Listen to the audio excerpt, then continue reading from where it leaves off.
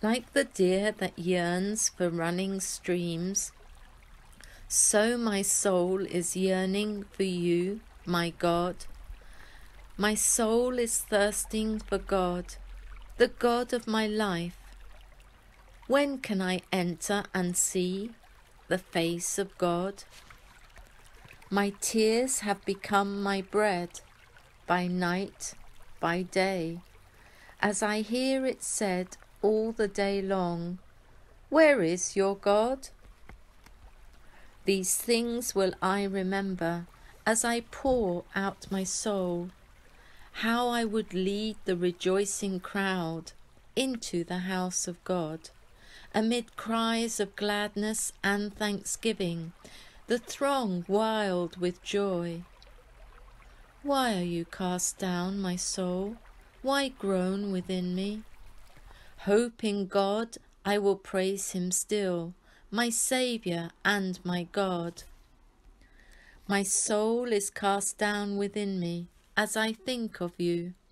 From the country of Jordan and Mount Hermon, from the hill of Mizar. Deep is calling on deep in the roar of waters.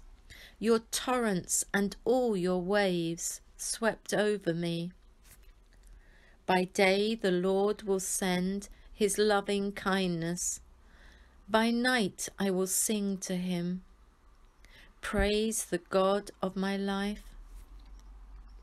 I will say to God, my rock, Why have you forgotten me? Why do I go mourning, oppressed by the foe? With cries that pierce me to the heart, my enemies revile me, saying to me all the day long, Where is your God? Why are you cast down, my soul? Why groan within me? Hope in God, I will praise him still, my Saviour and my God. St. Thomas says that the deer is a symbol of the catechumen, yearning for the waters of baptism. The gushing waters are not just a reference to baptism itself, but to what is received through baptism, that is, an entry into the body of Christ. The Son, in the Holy Trinity, springs up and proceeds from the Father like a river of life, as does the Holy Spirit, who proceeds from both.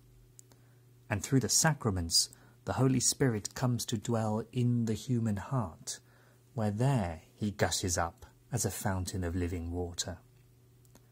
The baptized Christian delights in this water, but it also puts into him a kind of thirst, a thirst to see God for himself, the spring, the river, and the fountain, not under images, but face to face in the kingdom of heaven.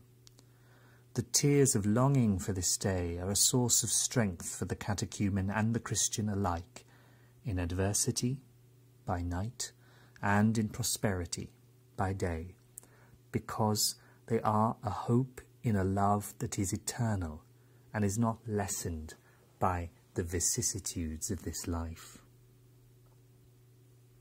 Yes, our hope can be jolted by the trials of this life and by the mockery of others. Yet our baptismal vocation to the font and through the font to heaven should never be questioned. Deep is calling on deep in the roar of waters, your torrents and all your waves swept over me. Our soul is an abyss that can never be filled except with the water that pours from the abyss that is God in his infinity. We echo one another and our thirst can only be satisfied by Him. The Holy Spirit inspires us to make the journey towards Him, and it may lead us to many places we would never have dreamed we should go. But the Lord of Calvary is waiting for us with arms outstretched. If we have faith, we can also have hope that some day we will enter his house and praise him in eternal joy, as long as we trust him enough to leave our old fears aside. Glory be to the Father, and to the Son, and to the Holy Spirit, as it was in the beginning, is now, and ever shall be, world without end. Amen. Our Lady of Ransom, pray for us. St. Gregory, pray for us. St. Agnes, pray for us.